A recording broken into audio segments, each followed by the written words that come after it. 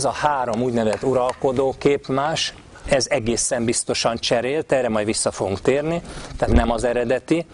És végül itt a Pantokrátor Krisztus kép mögött jelenleg nincsen apostolkép, nincsen egyáltalán zomáckép, csak egy úgynevezett makett felirat van. Tehát még csak nem is az eredeti, ott volt képnek a felirat, amit egészen biztosan tudunk, tehát ezt majd részletesen tárgyaljuk. Tehát ezeket keressük az itt lévő eredeti képet keressük, és az ezek helyén eredetileg volt képeket, mindegyiket nagy, nagy hát to, hogy mondjam, toleranciával, tehát nem egyforma biztonsággal, de azonosítani tudjuk. Van, amit teljesen biztosan, biztosan tudjuk, tehát leírásból ö, tudjuk azonosítani. Ez a jelenlegi ö, egyetlen hátsó oromzati elem eléje szegecselt, ugye Dukász Mihály császár kép helyén eredetileg volt kép, ezt tudjuk. 1613-ból leírásból, hiteles tanú, tehát Révai Péter koronaőr írja le, semmi okunk nincs abban, hogy kételkedjünk, illetve a hivatalos kutatási vonal egyfolytában kételkedik, de hát ez már az ő, hát hogy mondjam, előjoga, ami neki nem tetszik, abban ő úgyis kételkedni fog, tehát nincs olyan tény, amivel meg lehetne győzni.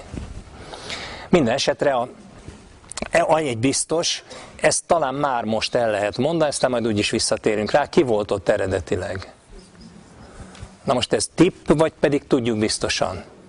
Honnan tudjuk? Hát Révai Péter leírásából. És mi, mi szerepel ebben a leírásban?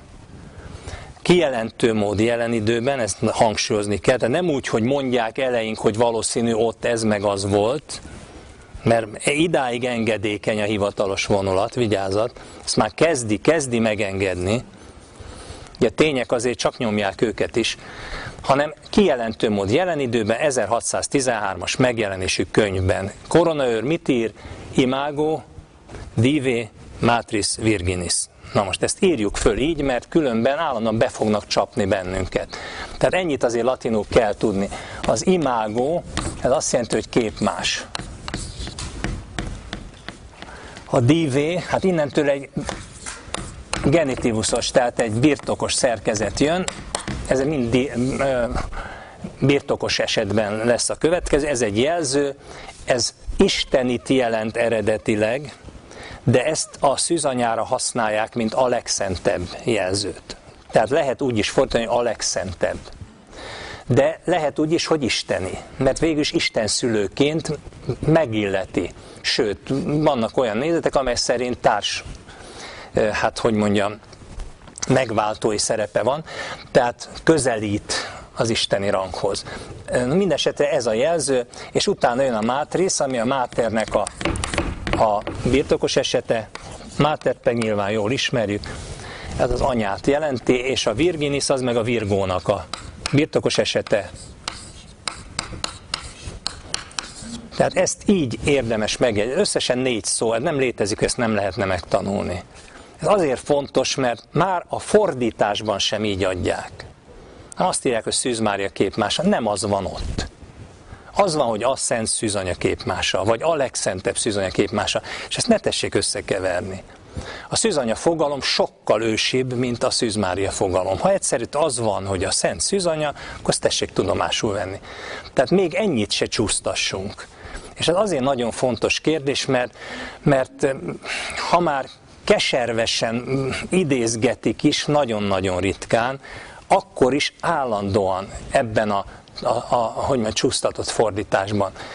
Tessék az eredetit, és azt tényleg vegyük komolyan. Tehát eredetileg itt, ezen a helyen a Szent Szűzanya képmása volt, és ez nem vita téma.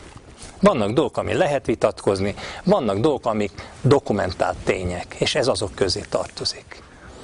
Most, ha én elkezdeném most sorolni, hogy kik azok, akik ezt nem fogadják el mégsem hiteles tanúságnak, akkor kiderülne, hogy ennek nagy részük ugyan hivatalos vonalban van, de az alternatív vonalban is ott ülnek. Tehát egy döbbenetes dolog, hogy, hogy mennyire nem azt veszik figyelembe, ami tény, hanem ami az ő elképzelésüknek legjobban megfelel. És most azért nem mondok neveket, mert ezek bizony súlyos vétkek. Tehát ezek nem, nem, nem olyan nagyon hát enyhén elbírálható dolgok. Aki ennyire lényegi kérdésben, ennyire nyilvánvaló tényeket nem vesz figyelembe, vagy éppen tagad, ott valami nagyon súlyos jellemhiba van a háttérben. És akkor az azt jelenti, hogy bizony annak a további megállapításait is ennek a fényében kell vizsgálni. Hát itt nem hiszem, hogy az előadók közt lenne ilyen, de, de szóval az, hogy valaki bocskai ruhában mond el egy aljasságot, az ugyanolyan aljasság, mint hogyha kaftánban és ekkora tetű puskával vagy mivel. Tehát ezt csak azért mondom, hogy nehogy már így osztályozzuk az embereket. Mert jelenleg már veszélyesebb az, aki aki bizony nagyon magyarnak adja magát, és közben meg a kifejezetten aljas és, és, és egyáltalán nem biztos, hogy a tudatlanságból fakadó hát tévhírekkel etetget bennünket. Na ennyit erről, én egyébként ezekkel nem fog foglalkozni, mert veszük észre, ugye, hogy ilyenkor nem mondok neveket. Nem azért, mert nem tudnék, hanem azért, mert ne erről jegyezzünk meg neveket. És egyáltalán, ha nem ő mondaná, akkor lecserélnék. Tehát itt nem a nevekkel vagy személyekkel van a gond, hanem egy szereppel. Ez a szerep pedig úgy szól, hogy ha ez a jobb oldal, jobb oldalban legalább annyi aljas van ma már, mint a bal oldalban. És ezek bizony kemény tények. Tehát ma már így nem is lehet, eh, hogy mondjam, a, a, a jelentőségeket vagy a, a szerepeket értékelni, mert bizony nagyon sok az ocsú mind a kettőben. Na, menjünk tovább. Tehát ez a nyugodtan írjuk be a szent szűzanya, vagy legalább annyit, hogy szűzanya.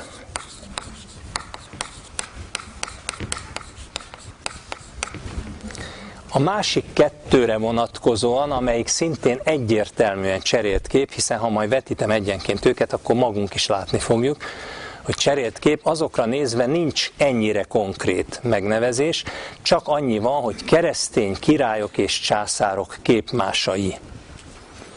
Na most itt rögtön intézzünk el egy kérdést, ha ez többes szám, akkor mi úgy szoktunk gondolkozni, és általában a kutatók nagy része is, hogy akkor legalább kettő kellett császárból és kettő királyból legyen.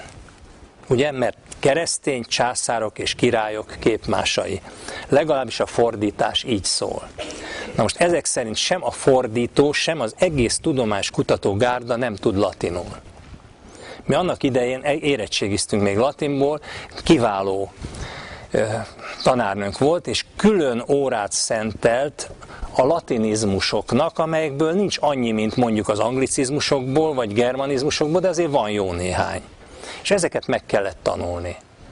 Tehát a jelesér már a latinban ezt, ezt fújni kellett. Na ilyen volt az, hogyha egy felsorolásban, ha csak kettő is van, és mind a kettőből csak egy-egy van, de együtt több, mint egy, tehát már többen vannak, mind a kettő többes számba kell tenni. Nem tudom, érthető-e? Na most ez a józan észszel ellenkezik, de hát a latin nyelv ilyen. Nem minden racionálisan magyarázható benne, például ez sem. Ezért kell külön megtanulni. Mert ezt nem lehet levezetni sem az utód nyelvekből, tehát a késő latin nyelvekben ez már így nem igaz. Tehát a franciában, az olaszban, a rétorománban, ez már így nem érvényesül, de a latinban még igen.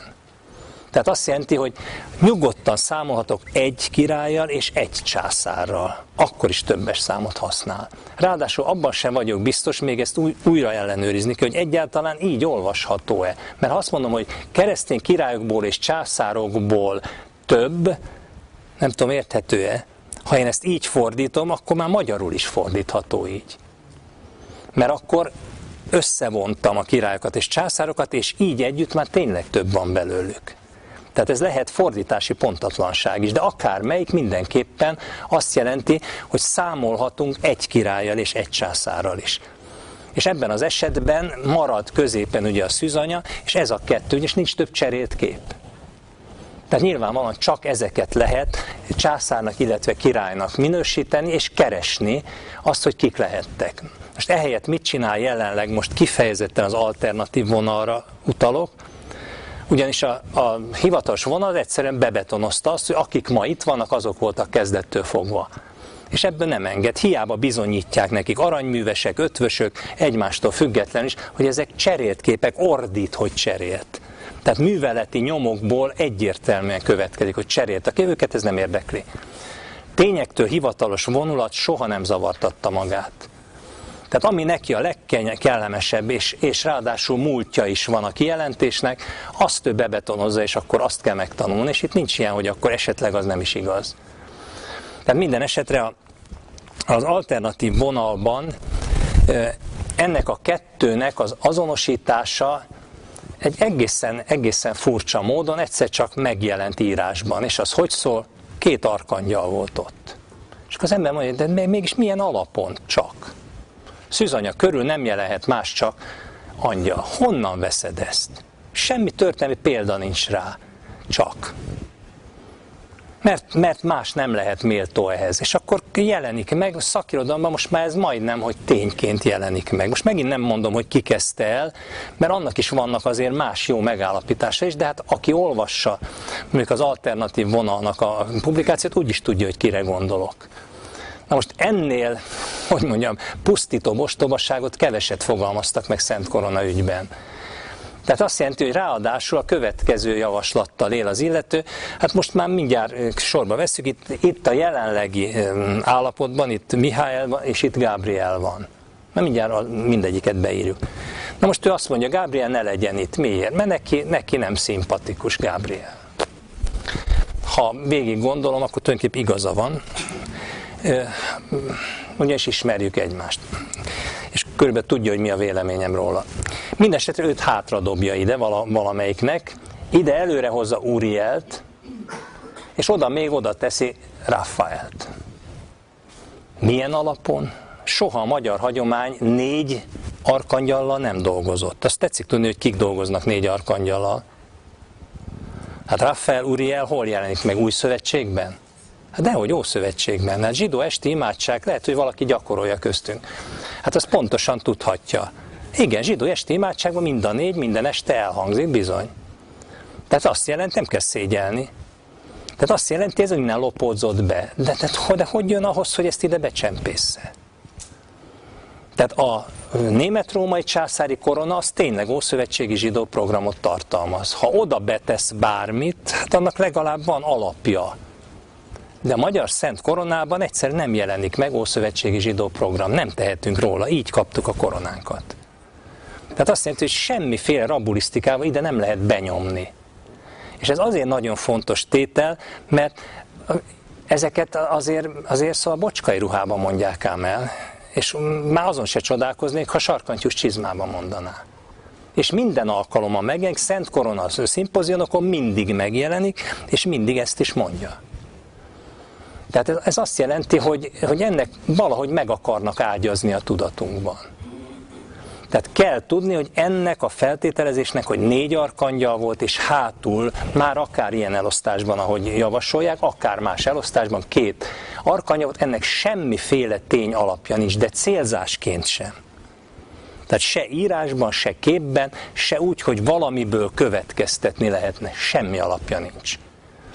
Na ennyit erről, és ezt azért kell ennyire határozott az elején elmondanom, mert hazamennek, és akkor, hát ha mondjuk nagyon tudományosak akarnak lenni, akkor kinyitják a csapot, akkor kapják a kettős korona elméletet, Dukász Mihály császát, és itt tovább, és itt tovább, de utána a másik csapot, a meleg csapot megnyitják, és akkor meg abból jön az, hogy négy arkangyal. És akkor azt mondja, na most talán ennek már semmi se jó, ez az ennek, ez most én vagyok. Nem, bármilyen furcsa, nekem a tények, tények azok, amik, amik alapozzák a, a mondandómat, és ne, nem is vagyok hajlandó e pillanatban még mást elismerni. Aztán majd építünk rá természetesen következtetést is. Tehát ennyit erről, és akkor most gyorsan nézzük meg, ha fönt az atya jelenik meg a fiún keresztül, és ez valóban szent korona, akkor tudhatjuk, hogy ez az új szövetség nyilvánvalóan új szövetség, hiszen a fiú, mint olyan, új szövetségi jelenség. Tehát ennek a kifejtett jelenlét, ez legfőjebb ígéret formában, de nagyon áttételesen, hm, hát hogy mondjam, olvasható ki ószövetségi szövegből, és, és feltűnően kevés szövegből. Tehát ennyi azért mondjuk magyar népmese kincsből is kiolvasható lenne, sőt még a virágénekeinkből is. Tehát ezt csak azért mondom, ha valaki nagyon ragaszkodik hozzá, de igen, legalább három olyan igehelyet tud az Ószövetségből, ami Jézus Krisztusra utal, hát ennyit nyugodtan virágénekekből is lehetne idézni. Tehát ne, nehogy már erre olyan nagyon büszkék legyünk, erre a nagy találékonyságunkra, és ezek is nagyon nagy áttétellel utalnak, ha nagyon akarom ugye Jézus Krisztusra. És ezekkel tényleg jó most már